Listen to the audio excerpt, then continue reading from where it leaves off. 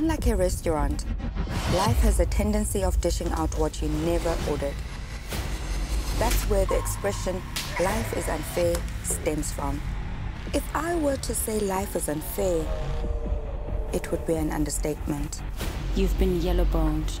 If you want to kill yourself, you must do it alone. I told Gogo I got a part-time job doing promotions over the weekends.